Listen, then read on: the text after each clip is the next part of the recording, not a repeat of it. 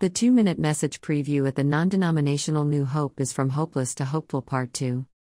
One of the most popular books on the Christian bestseller list is The Prayer of Jabez.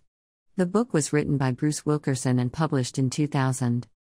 We know very little about Jabez, except that he was more honorable than his brothers and that his mother named him Jabez because she was in great pain at his birth. His name means pain. As for Jabez, he was well intentioned, wealthy, and famous he was a man of prayer. His prayer was straightforward and short, he only used 33 words, but his prayer got God's attention, and God granted him what he requested. The best honor that any man can have is to have a relationship with God, and Jabez did, and he has his prayer recorded in the Word of God because it is significant and instructive for us to know what he prayed. So, here is the question Are you living the life God wants you to live, or are you just living life? God wants you to live a life of blessing. In the Old Testament, we discover Jabez, who moved beyond living a life of everyday blessing to abundant blessing.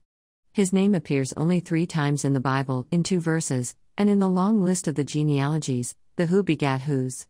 Significantly, what Jabez is remembered for is not some outstanding achievement but a prayer.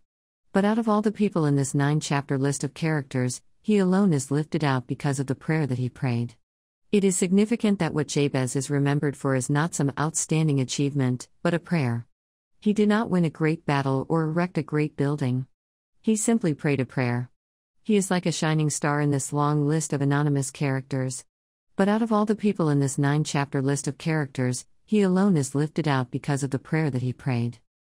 In his weekend message, Pastor Dell will elaborate on Jabez's short prayer and the four things he prayed for. His prayer can become a model for us to use in our own prayer life.